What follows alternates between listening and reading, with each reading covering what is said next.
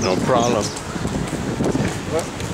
Here we are at the premium outlets and well, I don't know how to pronounce it, but here's the shit. Waikele. There's the stores right there. We just finished going to Coach store. Let me show you a quick glimpse of the map in case you try to go out here, get an idea what's here. Let me zoom in. Actually visit them online at premiumoutlet.com. They got them all over the United States. Next stop, Armani Exchange. Let's do this.